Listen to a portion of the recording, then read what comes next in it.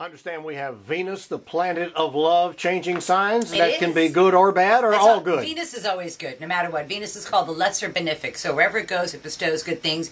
Even if it's in a hard angle to one of your planets, it's never bad. Oh, So, good. I thought we could use a little good news right in the middle of this Mercury retrograde. Is it almost over yet? God, no, it's not even over till next week. And you can see it by the Obama website, and you can see it by the state of Florida unemployment thing. And it's like, I wish somebody in the government would employ an astrologer.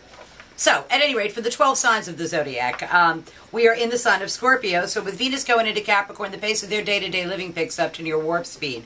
Um, but they find that they have much more leverage in negotiating with contracts and any kind of agreements go very favorably for the Scorpio. For Sagittarians, um, this Venus in Capricorn is a wonderful thing because it's money out of the blue. It's earned income um, coming their way.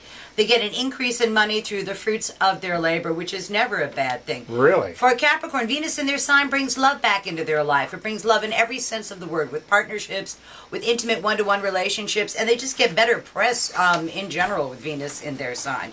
With Aquarius, they have to give a little more than they get. Venus is behind the sun for them. Um, it's not a time to start new relationships. It's a time to give rather than receive, which you could do that for four weeks. For Pisces, it's in their 11th house of hopes, wishes, goals, and objectives, and a group effort serves the Pisces needs. So you can get a group of probably older, well placed females to help the Pisces out.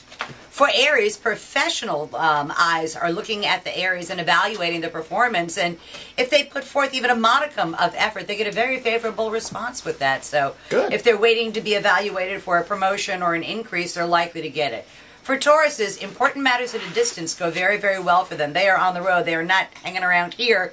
They are dealing with matters at a distance, and legal matters go very well because the law's on their side. So it's a very favorable time in general for Tauruses for travel and for um, negotiations. For Geminis, money falls out of the sky on them. Venus in um, your eighth house means you benefit from other people's resources. This is unearned income rather than earned income. So if I was a Gemini, I'd probably buy a lottery ticket. All right. For Cancer, seventh house of partners, their partnerships go well. This is a chance. If their partnerships have been rocky, it's a chance to pour oil um, to smooth out rough waters. If they're single, they'll attract someone, and if they're married, their marriage goes very, very well for them.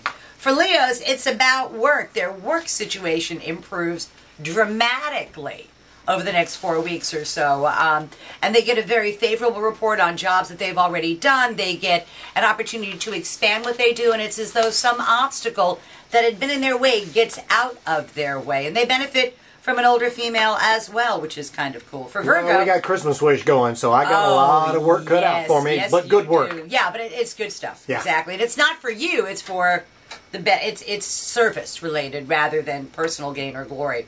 For Virgo, love affairs, yay, go very well for them. It's time. If they're single, they'll attract someone. If they're married, their partnership goes well, and it's a very fertile time for Virgos in every sense of the word. So. Yahoo! Um, and then for Libra, the last time we're going to talk about is in their fourth house of home. Matters at home smooth out. They've had a very, very rough time at home the last couple of weeks or so, and that all smooths out for them. Um, also, Libras are likely to want to modify their home, beautify their home, and all I can say is have a budget because Libras have the most expensive taste in the whole world. So Right, Andrew? make sure you have a budget and then stick to it. So that's tomorrow's news today for the 12 signs of the zodiac with Venus entering the sign of Capricorn. Sounds good to me. Thank you, ma'am. Always a pleasure. See you next week.